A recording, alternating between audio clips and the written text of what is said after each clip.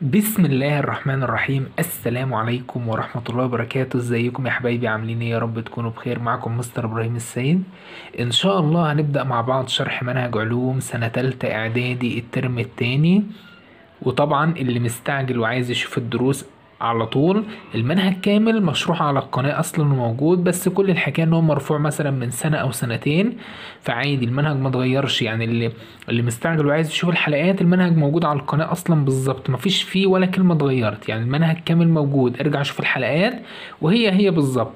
طيب ويلا بينا كده سنة تالتة نبدأ. أول درس معانا التفاعلات الكيميائية. يبقى الدرس الأولاني عندنا بعنوان إيه يا مستر؟ في الترم التاني عنوان التفاعلات.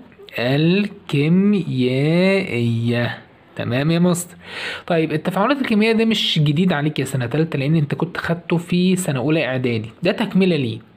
طيب التفاعلات الكيميائية أي حاجة في حياتنا ما هي إلا تفاعل كيميائي؟ يعني كل حاجة موجودة في حياتنا تفاعل كيميائي؟ آه. قالك أنت عندك مثلا العربية. العربية بنحط لها إيه عشان تتحرك؟ بنحط لها بنزين. البنزين ده بيتحرق فين؟ بيتحرق في محرك السيارة. طب لما بيتحرق بيتحرق ليه؟ قالك عشان يدي السيارة طاقة عشان تعرف تتحرك. قالك يبقى اذا احتراق البنزين. داخل آلة الاحتراق الداخلي للسيارة لتوليد الطاقة ده تفاعل كيميائي. يبقى إذا مهم ولا مش مهمة؟ مهم. طب عندك كمان عندك النبات. عشان يصنع غذائه بعملية البناء الضوئي. بيحتاج إيه؟ قالك بياخد المية عن طريق الجذر. بيمتص الماء والأملاح من التربة عندك بياخد ثاني أكسيد الكربون من الهواء الجوي وكل ده. وضوء الشمس وبيخلط كل ده مع بعضه فبيديني النواتج بتاعة عملية البناء الضوئي اللي هي الغذاء يكون غذائه وفي نفس الوقت بينطلق غاز الأكسجين يبقى ده تفاعل كيميائي يبقى إذا تفاعل الماء وغاز ثاني أكسيد الكربون ينتج النبات غذاء هنقول ده تفاعل كيميائي يبقى إذا مهمة ولا مش مهمة؟ مهمة في عملية البناء الضوئي طب عندك كمان التفاعلات الكيميائية دي يا مستر قال لك في المصانع بنستخدمها أو بنعمل بنفعل مادة كيميائية مع مادة كيميائية. ليه؟ قال لك عشان ننتج حاجة اسمها الألياف الصناعية. إيه تاني؟ قال لك الأدوية. ما الأدوية دي. مواد مخلوطة مع بعضها عملت لي الدواء ما هو تفاعلات كيميائية. عندك الأسمدة. مواد مخلوطة مع بعضها عملت لي سماد ده تفاعل كيميائي. وغيرها كتير من المواد الكيميائية الضرورية في حياتنا. يبقى ده برضه مهمة ولا مش مهمة؟ مهمة يا مستر يبقى إذا أهمية التفاعلات الكيميائية لما يجي يقول لك أذكر أهمية التفاعلات الكيميائية. يبقى لما يجي سؤال كده يا سنة آه تالتة يقول لك علل أو أذكر أهمية التفاعلات الكيميائية. أو يجي يسألك السؤال كده يقول لك للتفاعلات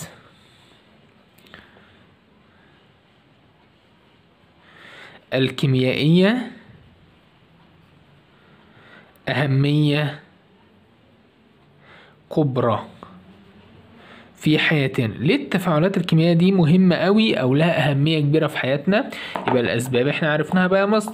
يبقى أنت عندك أول سبب قلنا أول حاجة السبب الأولاني إن هي احتراق البنزين داخل. آلة الاحتراق الداخلي للسيارة لإنتاج الطاقة اللازمة لحركتها. ده إيه؟ قالك ده من أهمية التفاعلات الكيميائية أو مثال على أهمية التفاعلات الكيميائية. طب تاني حاجة اديني مثال كمان على أهمية التفاعلات الكيميائية في حياتنا. عندك في عملية البناء الضوئي. في عملية البناء الايه الضوئي. مالها يا مستر؟ قال لك في عملية البناء الضوئي ده بيتفاعل الماء مع ثاني أكسيد الكربون اللي هو غاز من الهواء وضوء الشمس وينتج النبات غذائه طيب يبقى اذا ده نتج عن تفاعل إيه؟ تفاعل كيميائي. طب عندك تالت حاجة.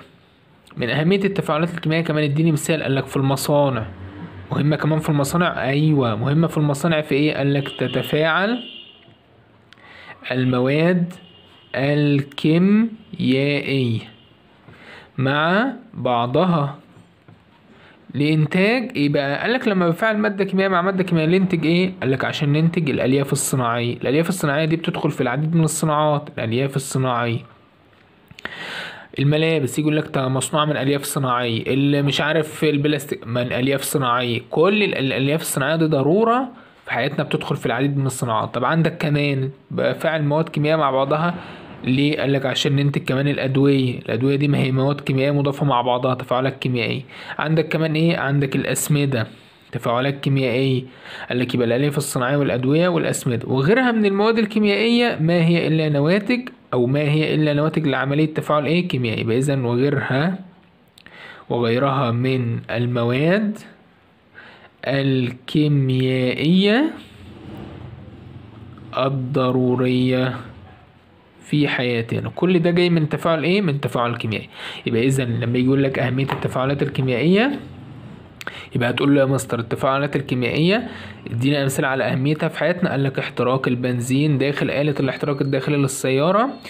ال- احتراق البنزين بينتج عنه طاقة. الطاقة دي لازمة لإيه؟ لحركة السيارة. يبقى ده من أهمية التفاعلات الكيميائية. ما هو ده ناتج نتيجة تفاعل كيميائي أهو. عندك تاني حاجة عملية البناء الضوئي.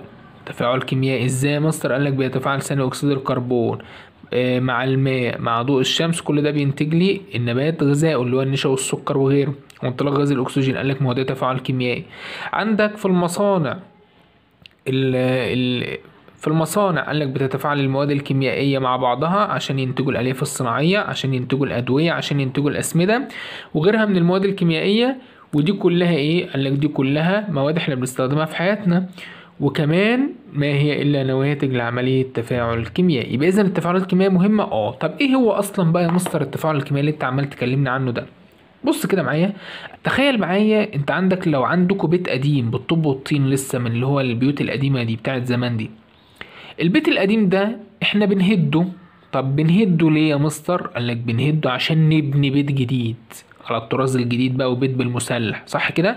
يبقى انت هديت الأولاني ليه؟ اللي كان متكسر ومتدغدغ ده قالك عشان تبني تاني. يبقى أنا بكسر علشان أرجع أبني. بكسر علشان أرجع إيه؟ أبني. يبقى إذا أنا كسرت البيت القديم علشان أرجع أبني بيت جديد. هو ده بالظبط التفاعل الكيميائي. تاني التفاعل الكيميائي كان فيه مركب موجود وفيه مركب تاني موجود. هعمل إيه؟ كسر يا عم الرابطة اللي موجودة في المركب ده. كسرت الرابطة دي. وكسر يا عم الرابطة اللي موجودة في المركب ده. كسرناهم اهم طب أنا بكسر ليه؟ قالك عشان أرجع أبني تاني. يبقى هنا هبني. يبقى ده يجي مكان ده ياخد ده وده يجي مكان ده. اهو. بنيت تاني اهو. بقى شكل جديد. طلع لي حاجة جديدة خامة جديدة اهي. يبقى اذا أنا كسرت علشان أرجع أبني. كسرت علشان أرجع إيه؟ أبني. وصلت الحته دي؟ يبقى اذا لما نيجي نقول يا مستر التفاعل الكيميائي هنيجي نعرفه هنقول لك التفاعل الكيميائي تعرفه إيه بقى لما أجي نعرفه؟ ركز معايا كده بالراحه إحنا ماشيين واحدة واحدة في الدرس اهو. لما يجي يقول لي ما المقصود بيه التفاعل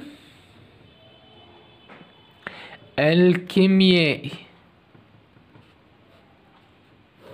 هنقول له التفاعل الكيميائي هو كسر الروابط الموجودة في جزيئات المواد المتفاعلة وتكوين روابط